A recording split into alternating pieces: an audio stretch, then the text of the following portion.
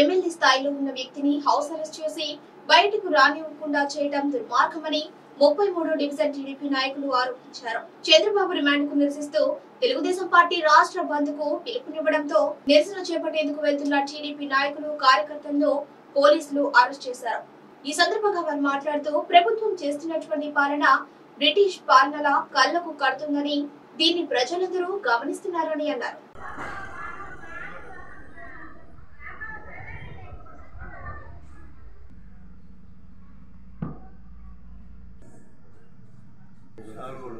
రోజుల నుంచి చంద్రబాబు నాయుడు గారిని ఒక డెబ్బై ఐదు సంవత్సరాల ఒక ఆయన్ని తీసుకుపోయి ఎన్నో ఇబ్బందులు గురి చేసి అక్రమరెస్టు చేసి రిమాండ్ పెట్టడం జరిగింది.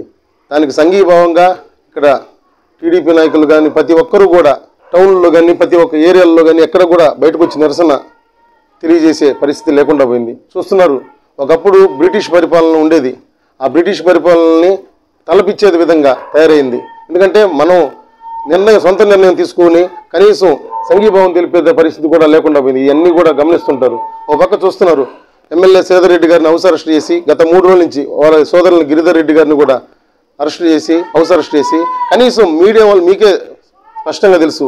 కనీసం మీడియా వాళ్ళని కూడా కనీసం ఆయన్ని కలిసే ప్రయత్నం కూడా లేకుండా చేశారు.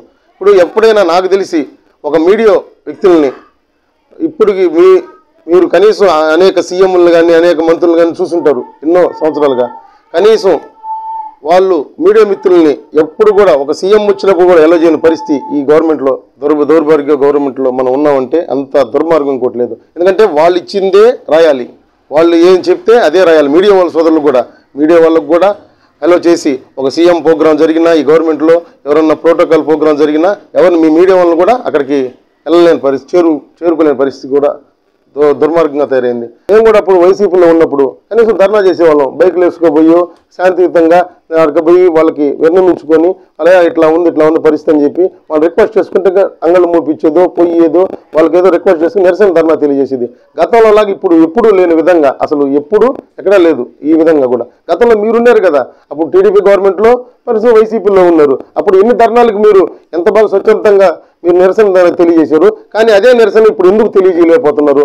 అంటే తెలియజేస్తే ఎక్కడ మీరు చేసే తప్పంతా కూడా బయటకు వచ్చి జనాలు ఆల్రెడీ జనాలు దుమ్మెత్తి పోసి ఉమ్మేసే రోజు దగ్గర పడింది. ఇంకా అది ఇంకా కూడా ఇప్పుడు రాబోయే రోజుల్లో ఇంకా కూడా దుమ్మేసే రోజు అది నేడుతో తెలిపింది. చంద్రబాబు చంద్రబాబు నాయుడు గారిని ఎప్పుడైతే అరెస్ట్ చేశారో ఆ రోజుతో ఇది కూడా అది అంత ఎంతో కాస్త ఉంది అది కూడా అది కూడా దృష్టి పెట్టిపోయిందని ఈ సభకు తెలియజేస్తుంది. మేము ఈ రాష్ట్ర ప్రజలు అందరూ ఒకటే కోరుకుంటున్నారు. కేంద్రాన్ని రెండు చేతులు మేము జోడించి వేడుకుంటున్నాం. ఈ ఆంధ్ర రాష్ట్రంలో ఏం జరుగుతుంది అనేది మీరు రిపోర్ట్ తెచ్చుకోండి. ఈ ఆంధ్ర రాష్ట్రంలో అల్ల కల్లోలంగా అయిపోయింది ఈ రోజు ఈ గవర్నమెంట్. బ్లాక్ డే ఈ రోజు బ్లాక్ డే అంటే తలదించుకోలేని పరిస్థితి. ఈ రోజుని మేము మేము కూడా కోరుకుంటున్నాం. ఏంది? ఇది బ్లాక్ డేగా ప్రకటించండి. ఎందుకంటే ఈ రాష్ట్రం అంతా అంధకారంలో చేసేస్తున్నారు ఈ గవర్నమెంట్ ప్రతి ఈ గవర్నమెంట్. ఈ చుట్టుపక్కల గవర్నమెంట్ మద్రాసు ఎట్టుంది హైదరాబాద్ చుట్టుపక్కల రాష్ట్రాలు ఎత్తున్నాయి ఒకరికొకరు ఆపోజిషన్లు కావచ్చు రూలింగ్లు కావచ్చు ప్రశాంతమైన వాతావరణం ఉంది.